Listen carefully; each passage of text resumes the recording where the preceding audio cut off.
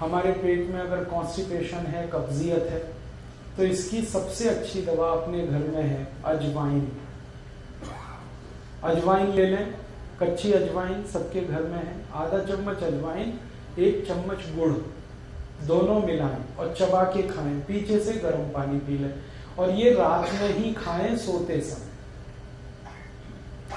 जिनको कॉन्स्टिपेशन बहुत रहता है, पेट साफ़ नहीं होता, वो रात को सोते समय एक चम्मच गुड़, आधा चम्मच अजवाइन मिला के चबा के खाएँ और पीछे से गर्म पानी पिए।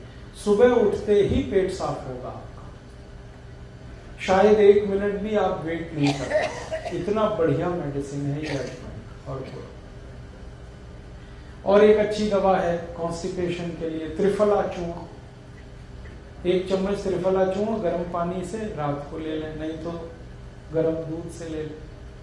बहुत अच्छी दवा। और एक तीसरी दवा है, अनार का रस पिए, पेट साफ़ होता है। चौथी एक दवा है, अंगूर का रस पिए, बहुत पेट साफ़ होता है। अनार चबा के खाएँ तो भी पेट साफ़ होगा। अंगूर चबा के खाएँ तो भी पेट साफ़ होगा। सलाद ज़्यादा खाएँ, खीरा, ककड़ी, टमाटर, गाजर, पेट बराबर साफ़ होगा। और एक बड़ी को बिल्कुल मुफ़्त का इलाज बताता हूँ। अगर आपको अच्छे से पेट साफ़ रखना है अपना, खाने को खूब चबा चबा के खाएँ तो कभी भी पेट साफ़ ही होने वाला जल्दी खाना ना खाएँ, बस इतनी सी बात। एक रोटी का टुकड़ा मुँह में डालें, बत्तीस बार चबाएँ। जितने दांत, उतनी बार चबाएँ।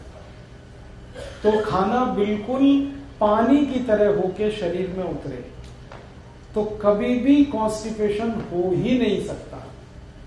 बस इतना सा ध्यान रखें, खाना चबा चबा के खाएँ। और पानी घूट घूट करके पिए। सिप करके पानी पीने की आदत डालें।